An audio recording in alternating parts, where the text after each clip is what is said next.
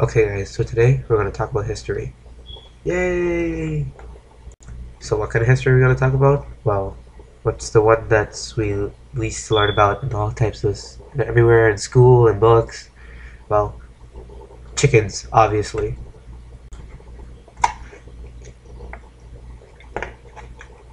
Some good chicken. But seriously guys, we're not talking about chickens. How about something more like dinosaurs?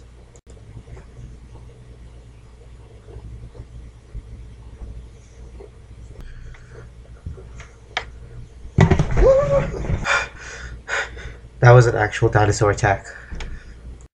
Okay, I captured him. Here, here he is. But that's not what we're here to talk about. Something more recent, like past few hundred years. Come on, guys, the discovery of chicken bones. Dinosaur bones, I mean. Dinosaurs, chicken, the same thing. So dinosaur bones were first discovered by the Chinese during the Jin Dynasty and were thought to be dragon bones. Gotta make sure a dragon doesn't attack me now. But anyway, Chinese villagers used to dig up these bones from the earth and use them in medical practices.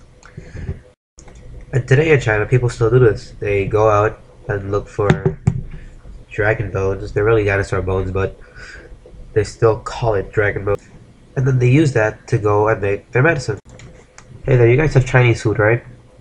Do you guys have any dragon bones? Oh no? Oh, I'm sorry. Oh, oh, okay. I'm, I'm sorry. Uh, no, I'm, I'm, I'm sorry. Uh, okay, bye, bye, bye, bye. But Chinese people weren't the only ones that mistake these bones for something else. In Europe, the people that found these dinosaur fossils thought they were remains of giants.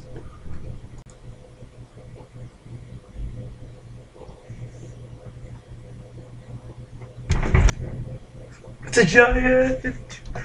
Okay, let's get rid of the past now and move a little bit more to the present. The first time dinosaur bones came to be recognized was during the 17th century in England. It was one of the bones from the Megalosaurus. After being found in Oxfordshire, England, it was then sent to that man that you just saw, Robert Plot, who was a professor in chemistry at the University of Oxford. He was Christian, so after looking at the size of the bone, since it was so big, he thought it was a bone from a giant, like they said that existed in the Bible, those gigantic humans. However, then in 1699, there was a man named Edward Louis, who was actually a friend of Isaac Newton. And he was actually the first person to say that this isn't a giant's bone, like everybody thought it was in Europe he was able to recognize that this belonged to some other creature, and he called this creature a sauropod-toothed rectalum implanticum. Yeah, sauropod-toothed rectilium implanticum. Now we go on to the 1800s. Okay, so now we have a guy named William Buckland. Now, this guy was an amazing professor of geology at Oxford University as well. He collected the rest of the bones for the Megalosaurus dinosaur. And then he published them in this scientific journal. Wait, this isn't the scientific. Where's my. Oh my god. Anyways, let's move on to the second dinosaur discovered now. Now, this dinosaur was actually discovered by a woman. yep, that's right, a woman. And her name was Mary Ann Mantell. She called this creature an iguanodon. Now, this woman was actually married to a man then there was a man named Gideon Mantell. He was a geologist that actually noticed that these two creatures were kind of similar with each other, and then he went on and published his findings in a book. Finally, we're getting closer to the term dinosaurs being made. Now it's 1842. Yes. By this time, there was another dinosaur already been found, named the Hylaeosaurus. And a, a man named Richard Owen found that these, all these three creatures were so similar they had to be of the same group of animals. So we finally made up the term dinosaurs.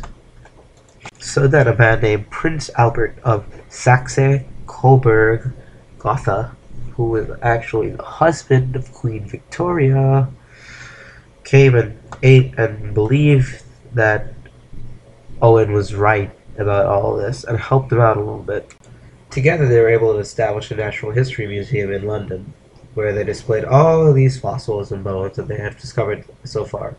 Now, the people finding these things weren't all just like study, study, study, work, work, work. They had fun too.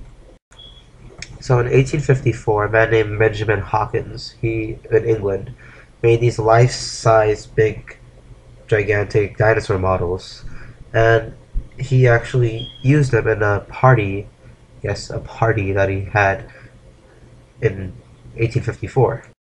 Richard Owens was invited to this party, which took place in London, England. And yeah, I'm pretty sure they had fun. It wasn't all work, work, work. Wait, what am I doing in the dark? It's the mid 1800s now. Should have electricity now. Yes, now we can see. And you can see a lot of my house. So bye bye electricity. Then a dinosaur named the Hadrosaurus was found in New Jersey, and this sparked a whole wave of dinosaur discoveries and explorations in the United States for many years after this.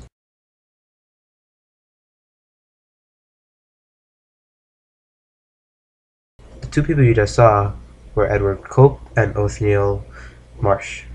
Now they had this huge rivalry between each other because now what started in the United States was the Bone Wars, and which was a race between everybody to can get the most fossils and create the most dinosaurs. They were pretty big enemies in this. Now, this battle between the two people lasted around 30 years, and ended pretty sadly. In 1897, after Cope spent his entire fortune on this dinosaur hunt, he died. So, in the end, Marsh won. And all the research and discovery the two done was for absolutely nothing.